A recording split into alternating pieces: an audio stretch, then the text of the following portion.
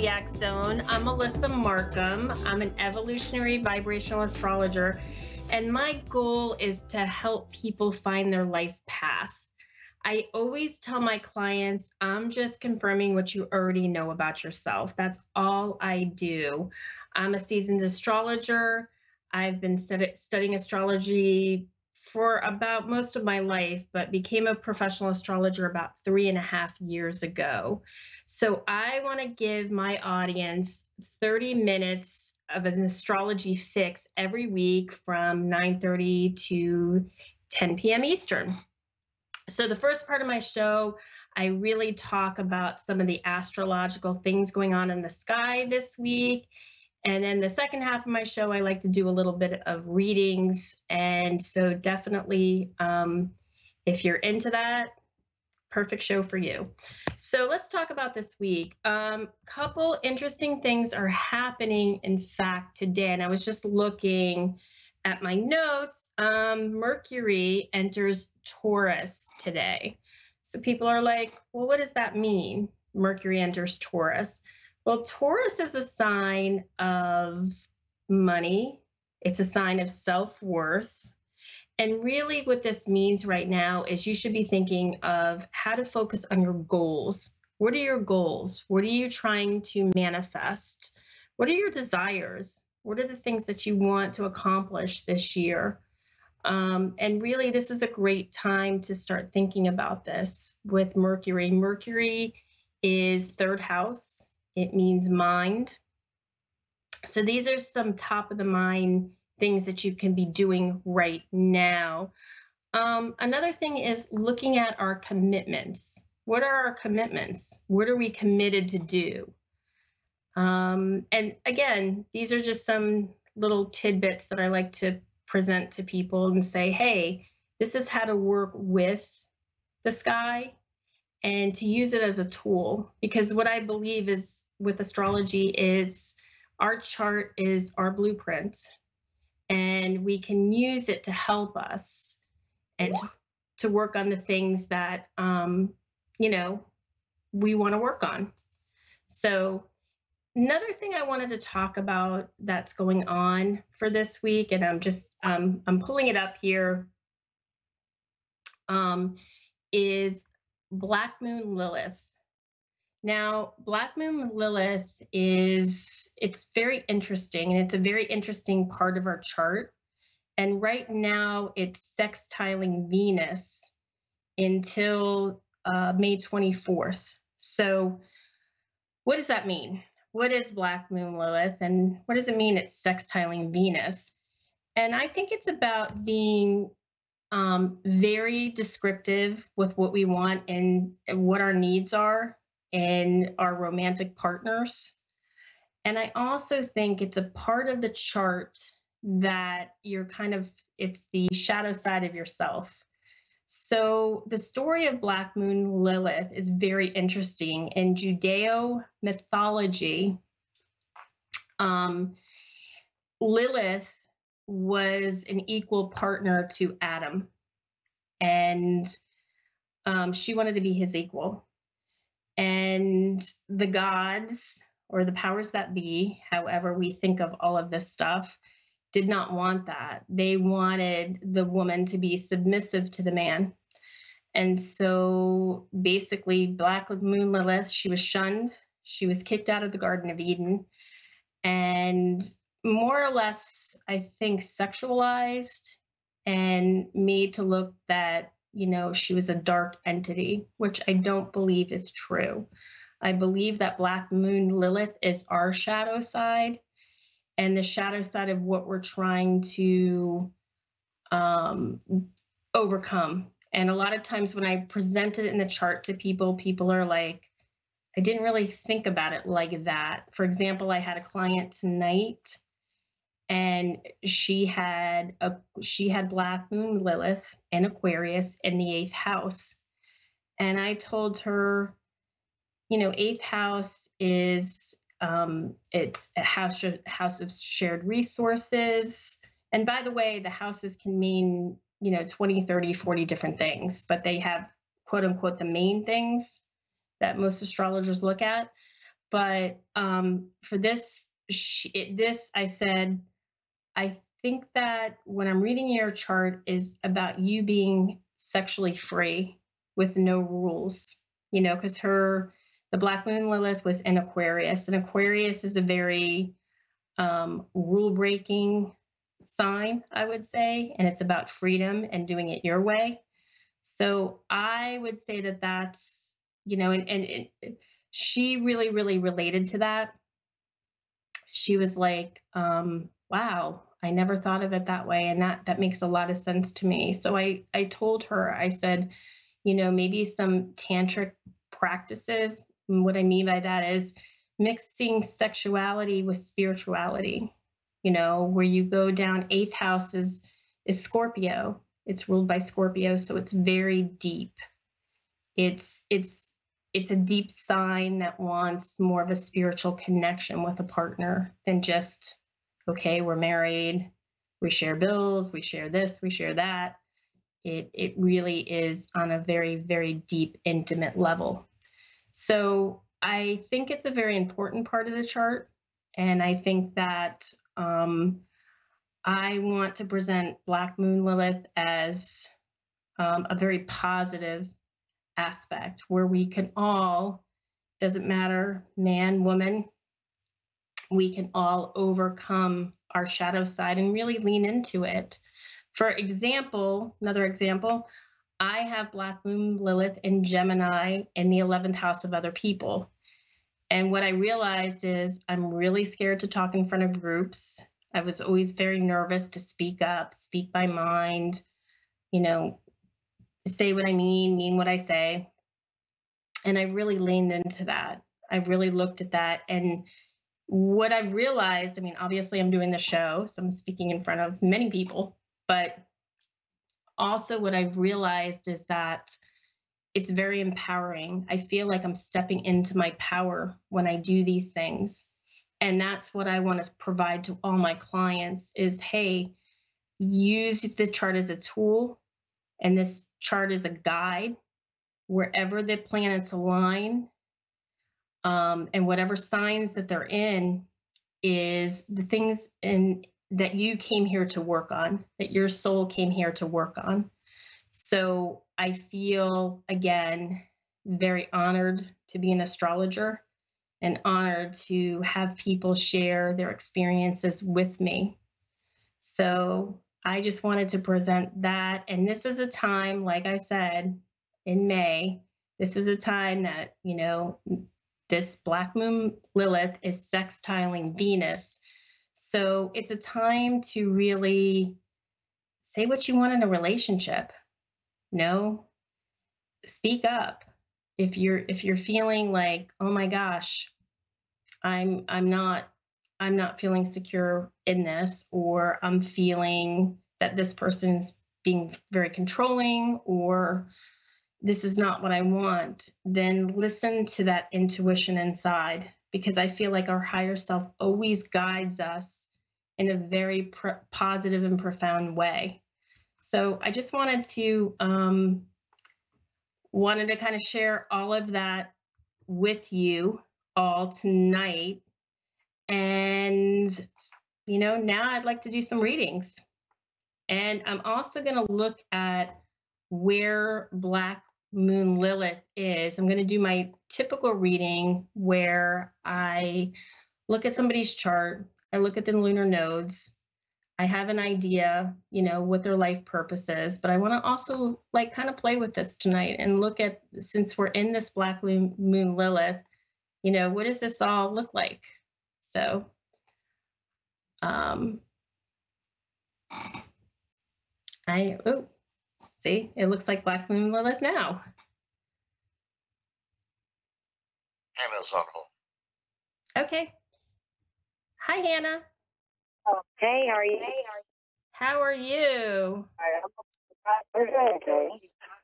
Did you resonate with what I said about Black Moon Lilith? Are you familiar with Black Moon Lilith?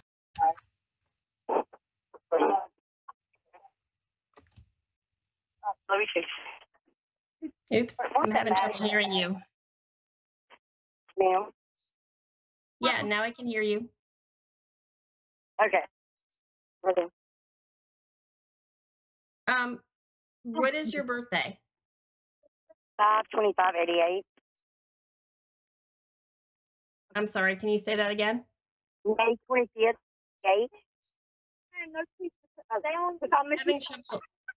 I'm having trouble hearing you. I'm sorry. Okay. Hmm, I don't know. It sounds muffled to me. Can you hear me now? Now I can hear you. Okay, it's just not sitting on like where I'm like, you know, the trees and all that. I have move. Oh yeah, no, I understand. I just it sounds a little muffled, so I was just trying to figure out like the birthday, day, month, year. Um, May twenty-fifth, eighty-eight. May 20th, 1988. No, May 25th, 1988. May eighty-eight. May 25th, 1988. Okay, got Mhm. it. The the time you were born? Ma'am. Ma'am. Do you know your birth time? Um, no, ma'am. I think it was like six thirty-four p.m. Six, we can try this. Um, yeah. I believe so that's it. Six thirty-four or six thirty-six 6:34, 36 p.m. or a.m. p.m. p.m. And city and state? Pearl, Mississippi. What's the name of that city? Pearl, Mississippi.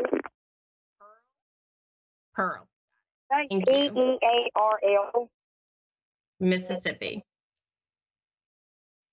Yes, ma'am. All right. Okay. Alrighty, Pearl, Mississippi. Okay. Let me go ahead and put this. Okay. I'm just taking my, I'm looking at this.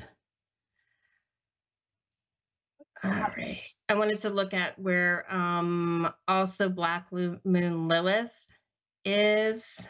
Um and where Chiron is. Okay. Couple things I see. Um, like I said, I'm a vibrational evolutionary astrologer. So I really look at the lunar nodes, where, which are elliptical points in the sky. And it Mhm. looks to me, I'm going to say what it is in astrology, and then I'm going to I'm going to tell you what it means. Your south node is in Virgo in the 11th house. The 11th house is other people, hopes and dreams. Um, and your north node is in the fifth house, which is house of love, house of leisure. Um, so, what I see is I believe that you're the type of person, first of all, you're a worry wart. You worry about everything. And I feel like because it's in it's in the house of other people, it's always it's not that you purposely try to keep up with the Joneses, but I feel like you care too much what people think, you know? Um, and a lot of times in in this with this placement, everything could be like a goal or it's just constant anxiety and stress and oh my gosh, You're right. What am, what am I going to do? And I'm not good enough. It's a lot of self deprecation where you don't feel good about yourself. So, really, you know that saying, let that shit go? I would have Yeah. that. I would have that in your room somewhere where you can see it every day because that really describes the energy that you came here to what you came here to accomplish and do you know? Mhm. and know that you also came here to find your heart to do what you love. And i feel like it's something spiritual because it's in pisces so it's it's it's helping others. It's it could be helping you know a marginalized population people that are disenfranchised it could be getting way deep into the woo woo spiritual stuff where you're um, really tapping into that that higher consciousness you know? But it's it really has to be about something that you love that you feel drawn to do. Does that resonate with you? It does. Everything you just said. Yeah, I mean, that's where you're going to be at your highest vibration, and that's where you're going to feel the best about yourself. Um, it's interesting because you have Lilith, what I talked about tonight, the Black Moon Lilith. You have it in Leo, and you have it in the 10th house.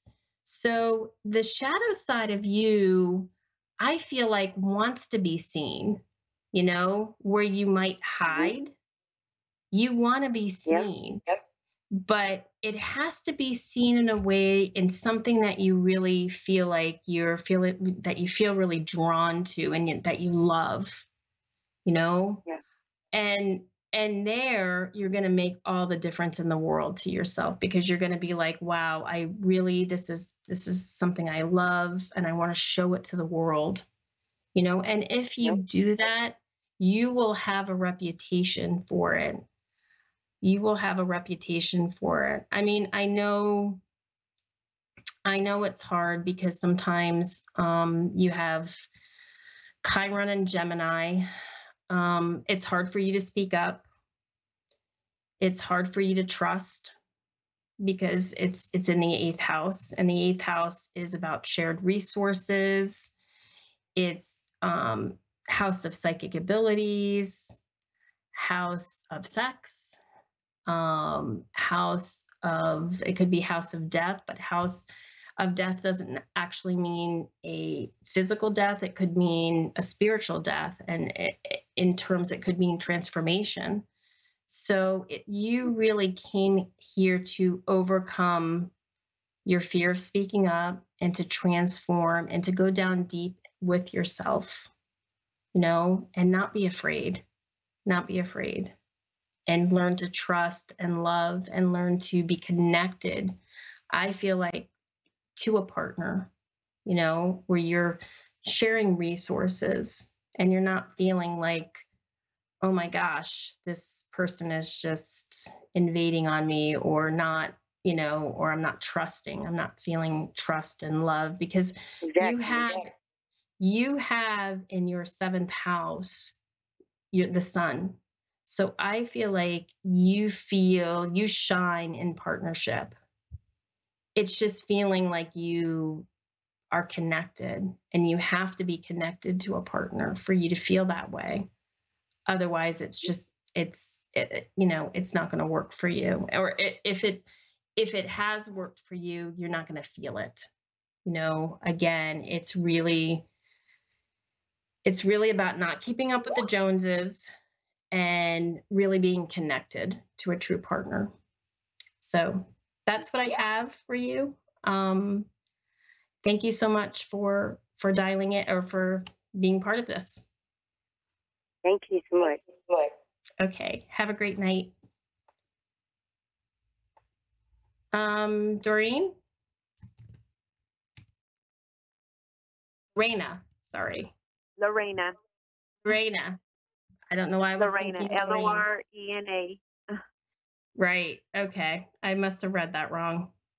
It's been, uh, you know, these these nighttime shows, right? Sometimes you're seeing things that are not there. um, That's fine.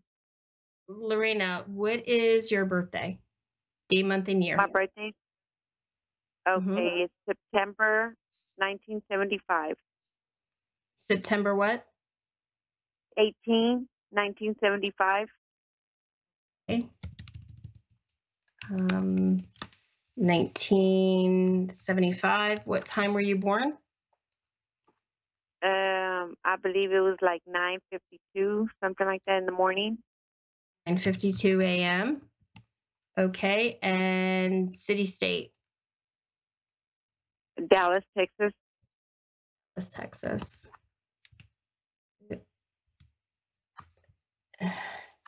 Dallas.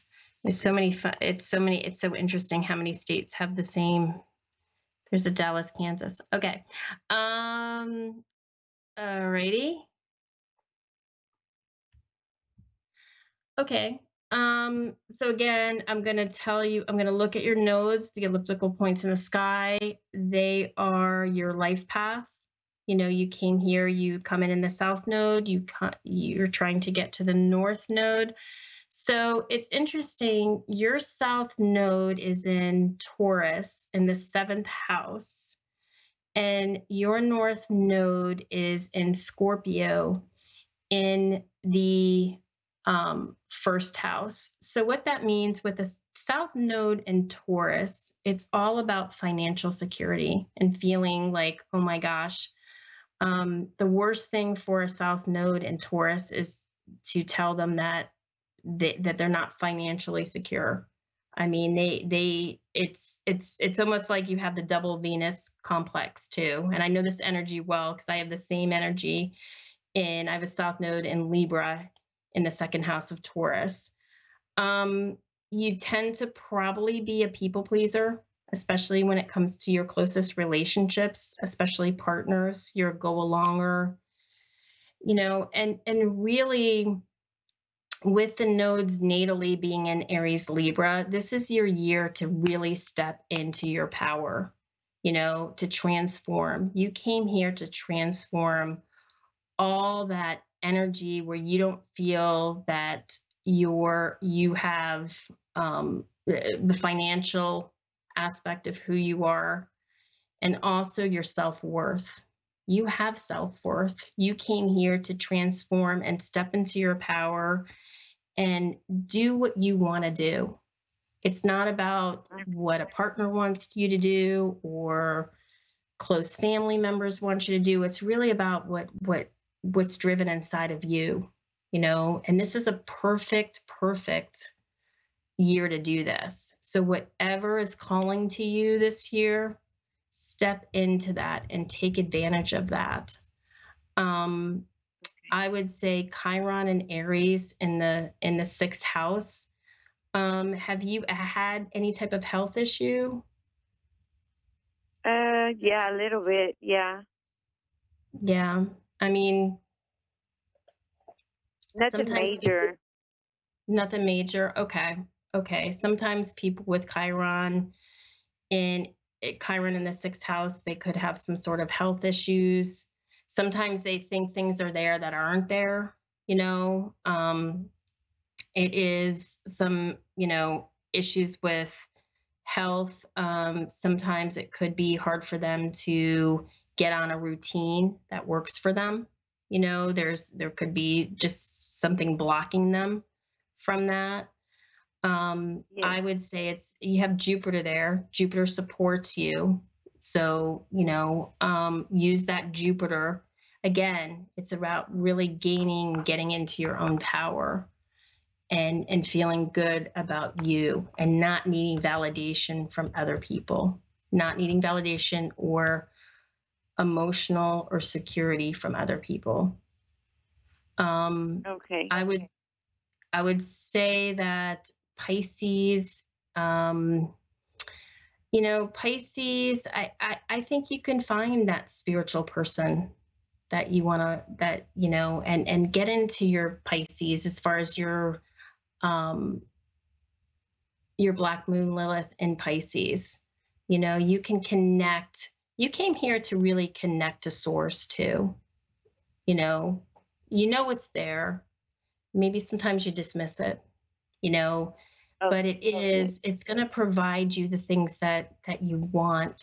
I mean, obviously you're you're being called and drawn to these things because you're, you know, you're having a reading on a on a psychic on a, an astrology show.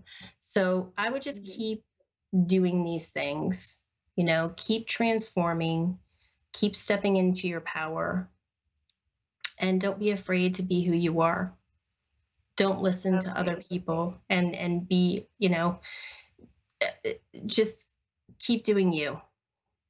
No, because okay. this is a powerful year, I said, for Aries and for um, the North Node in Aries. We all need to step into our power and we all need to just say, okay, people are going to think what they're going to think and that's okay i'm going to i love me it's that that old thing i love me and i just want to be the best me that i can be for me you know it's not about everybody else so i um I hope that that helps you.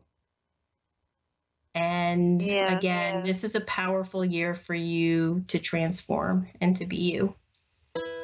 So thank All you very right, much. Okay. All right. Thank you. Have a great night. Bye bye. Yeah, so I just want to reiterate, um, you know, Black Moon Lilith, the shadow side, very interesting story for those who want to research it and read it. And um, I try to give tidbits every week.